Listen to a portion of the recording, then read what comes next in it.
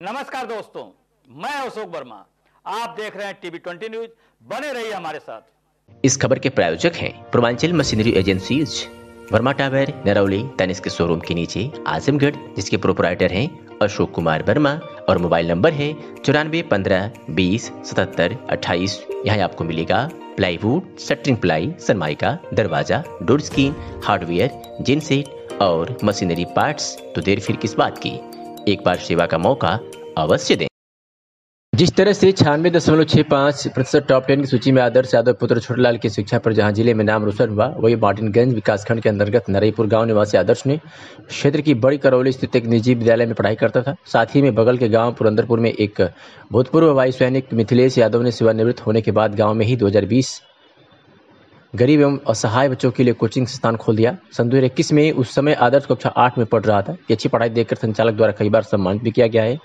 संचालक द्वारा coaching centre में पाँच अध्यापक भी रखा। आदर्श भी अपनी अच्छी शिक्षा के लिए वायु सैनिक कोचिंग एंड मोटिवेशन सेंटर का आभार व्यक्त किया।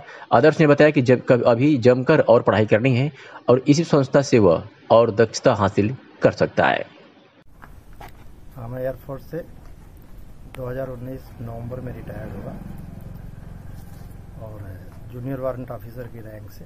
तो मेरे मन में यही विचार था कि मैं अपने इस लोकेलिटी में जो रिमोट एरियाज़ में हैं बच्चे, उनको वह एजुकेशन आज की डेट के हिसाब से नहीं मिल पा रही है, जो मिलनी चाहिए। इसलिए चूँकि मैं शिक्षा से जुड़ा था और एयरफोर्स में टेक्नीशियन के पद पर था, और शुरुआत से लेकर के अब तक मैं शिक्षा दे रहा था, अपना टाइम कुछ न कुछ निकाल करके घंटा दो घंटा सीबीएसई बोर्ड के बच्चों को भी कोचिंग देता था। चूँकि मैं पढ़ाई से हमेशा कंसर्न जुड़ा रहा इसलिए मेरी जो कंटिन्यूटी थी बनी रही और उसी चीज़ को मैं आगे रिटायर्ड होकर के कंटिन्यू करना चाहता था। इसलिए सबसे बेहतर प्लेस मैंने ये अपना क्षेत्र ही चुना और जिसे हमने डेवलप किया। उनके बारे में?